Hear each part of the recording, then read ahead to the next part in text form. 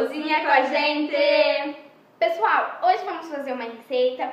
Não é tão difícil e não tão fácil, é mais ou menos. O que vamos fazer? Bolo de leite ninho. Hum, Uma delícia, né, gente? É tão difícil assim não, né? É. Vale a pena, eu garanto que vale a pena fazer. verdade. É, não se esqueça, gente, de se inscrever no nosso canal, viu? Deixar o seu like aí pra gente, tá? Tá bom, gente? Bora? Fazer a receita, né? Bom, gente, para fazer o nosso recheio do bolo de leite ninho, vamos precisar de 20 colheres de leite ninho, 2 colheres de açúcar de sopa, tá, gente? Uma caixinha de leite condensado, 150 gramas de manteiga sem sal. Eu tô usando a manteiga, gente, porque a margarina fica com um gostinho meio ruim. Duas caixinhas de creme de leite e o chocolate branco vamos precisar só para enfeitar o nosso bolo de leite ninho, tá? Eu tô usando chocomais, mas vocês podem usar qualquer que vocês quiserem. Bom, pessoal, para fazer o nosso recheio de leite ninho, então a gente vai bater primeiro a manteiga. A nossa manteiga sem sal.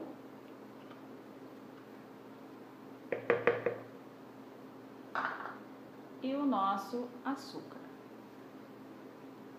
Vamos bater até que fique um creminho esbranquiçadinho, tá?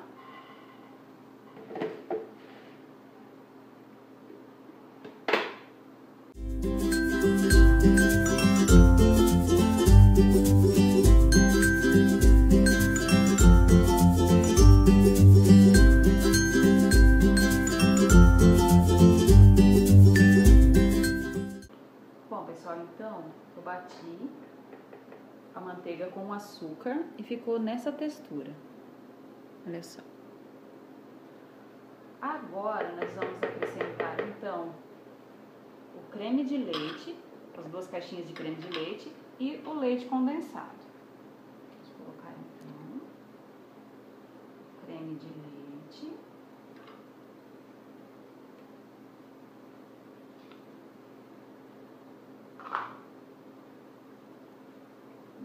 leite, creme de leite e leite condensado. Fica uma delícia esse recheio, gente. Maravilhoso. Façam que vocês vão gostar muito, viu? Então, agora nós vamos bater esses ingredientes para depois colocar o nosso leite ninho.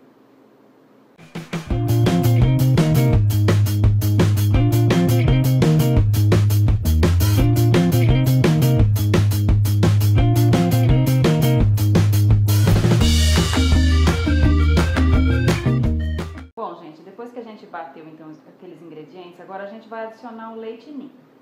Vocês podem estar usando outro leite em pó, não tem problema. É que o leite ninho dá aquele gostinho diferente, mais gostoso, mas vocês podem usar aquele que vocês quiserem.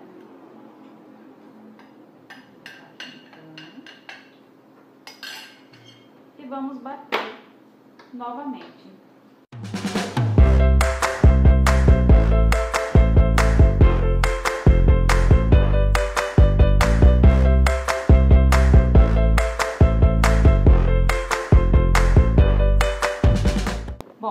Gente, então já bati a nossa cobertura de leite ninho, que serve tanto para cobertura quanto para recheio. E agora eu vou levar ela na geladeira para ficar mais uma cobertura e um recheio mais firminho, que depois a gente vai usar para rechear e para cobrir o nosso bolo de leite ninho. Então eu vou cobrir com um filme plástico para que não resseque em cima do recheio e vou levar na geladeira por um tempo para ele ficar mais firme pra gente usar melhor esse recheio. Pessoal, esse aqui é o nosso recheio de leite ninho que ficou, eu deixei na geladeira, ele ficou uma noite lá. Eu cobri com filme plástico para não ressecar e ele ficou bem mais firminho, olha o nosso recheio, depois de ter ficado na geladeira. A gente vai usar também o nosso pão de ló, que a gente fez no outro vídeo. E a gente vai ter que cortar ele em duas partes pra gente poder rechear. Vou usar também a mesma forma que eu fiz o pão de ló. Eu coloquei um plástico para que a massa não grude aqui no fundo, depois fica mais fácil da gente montar, que a gente monta aqui dentro mesmo. E vou usar também uma misturinha que eu fiz de leite condensado com leite, para a gente molhar o bolo.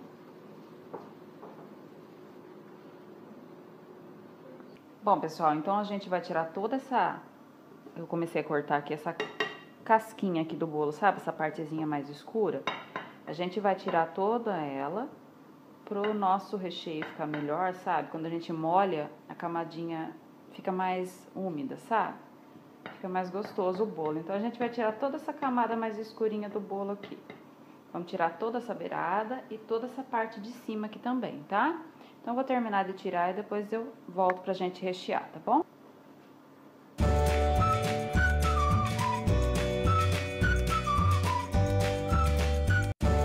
Vamos tirar também toda essa camada da parte de baixo do bolo. Essa partezinha escura aqui, que a gente não precisa dela. Então, a gente vai retirar. Se acaso você quiser deixar uma camada também, não tem problema.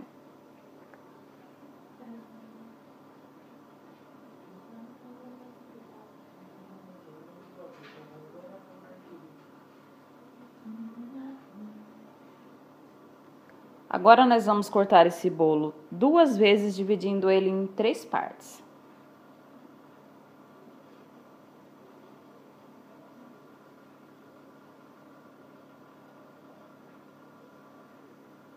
Então, dividimos o pão de ló em três partes. Olha, três partes. Agora nós vamos rechear ele então. Bom, pessoal, então a forma que eu usei para fazer o nosso pão de ló, eu vou usar para fazer a montagem do nosso bolo. Eu coloquei o plástico aqui para não grudar, né? No fundo, para o nosso bolo não grudar no fundo da forma. Então, eu vou colocar o nosso pão de ló aqui. Vou molhar ele com essa misturinha de leite condensado e leite. Vocês podem molhar com guaraná ou com o que vocês quiserem gente molha bem ele com mistura. Aí nós vamos colocar então uma camada de cobertura, tá? Cobertura, recheio, dá pra fazer os dois. Dá pra, tanto pra gente rechear quanto pra gente cobrir o nosso bolo com essa delícia de recheio de leite ninho aqui. Então, a gente passa bem aqui, vamos tirar o plástico aqui. Montando na forma facilita muito pra gente. É melhor do que tá montando na própria bandeja do bolo. Que a gente vai fazendo a bandeja, a gente acaba fazendo uma sujeira. Depois tem que limpar em volta do bolo. Então é muito melhor assim.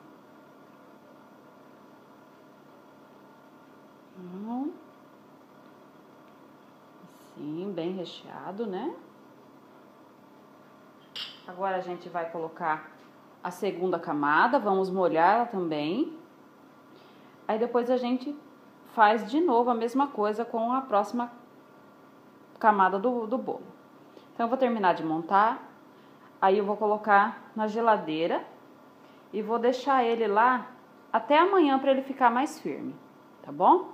E eu vou usar para colocar no meio do, do recheio, na segunda parte, vou colocar uns pedaços de morango, tá? Mas esse é opcional, fica a critério de vocês. Se vocês quiserem colocar, senão não precisa, tá bom?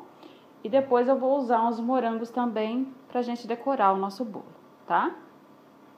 Então eu vou colocar na geladeira e quando ele estiver pronto, mais firme, eu volto para mostrar, tá bom? Bom, pessoal, então eu deixei ele na geladeira para ele ficar mais firme para a gente mexer melhor nele, né? Assim é mais fácil da gente estar tá passando a cobertura.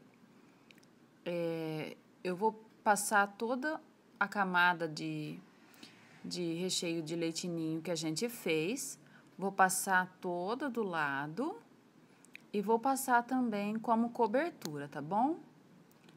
Vamos tirar aqui esse plástico, filme plástico que eu deixei para não ressecar o nosso creme de leite ninho.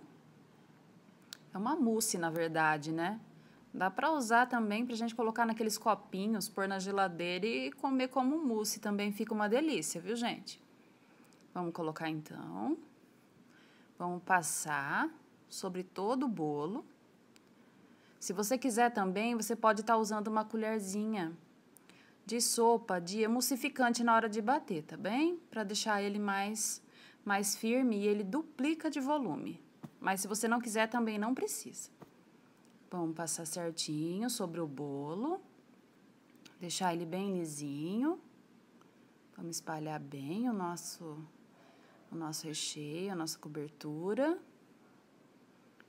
Muito gostoso esse bolo. As crianças aqui pedem direto para fazer. Eu já perdi até as contas de quantas vezes eu fiz.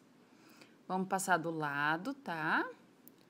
Vamos arrumar. Sempre dá uma caidinha de, de recheio, mas a gente conserta depois. A gente sempre faz uma sujeirinha, né? Mas tudo se conserta. Vamos passar bem para a gente poder colocar o nosso chocolate, né?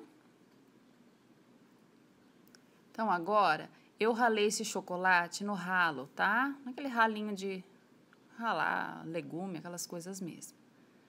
Aí depois a gente salpica pelo bolo, joga esse chocolatinho ralado. Se você quiser fazer umas lasquinhas também, você pega aquele descascador de legumes e faz umas lascas que fica muito bonito para você colocar por cima, para você decorar.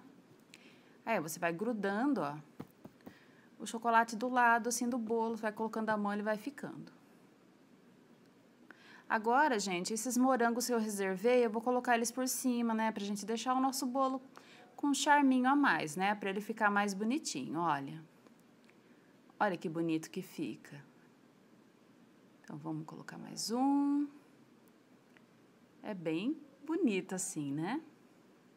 Então, se você quiser, você pode pôr os morangos, é opcional. Se você não quiser, também pode deixar sem. Fique à vontade para escolher, tá bom? Mas fica lindo com morangos. Por isso que eu coloquei uma camada de morango nele também na parte do meio do, do recheio, que eu acho que fica muito bonito e muito gostoso. Vamos cortar um pedaço então para ver como que tá? Olha só, ele ficou fofinho, bem macio e deve ter ficado muito gostoso, né? Olha, vamos tirar então. Olha só que gostoso que deve ter ficado esse bolo.